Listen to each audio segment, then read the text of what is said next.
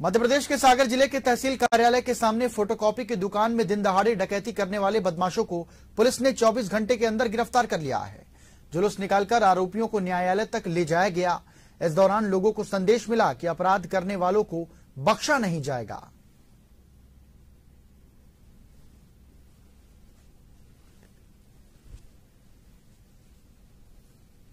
जैन के द्वारा बताया गया इसका जो इसका जो ओनर है दुकान का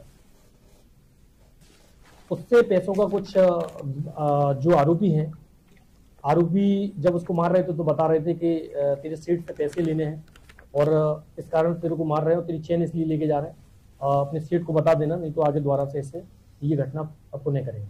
तत्काल इनकी तलाश की गई और इनको आरोपियों को पकड़ लिया गया और विवेचना के दौरान इनको माननीय न्यायालय पेश कराया गया है और विवेचना जारी है।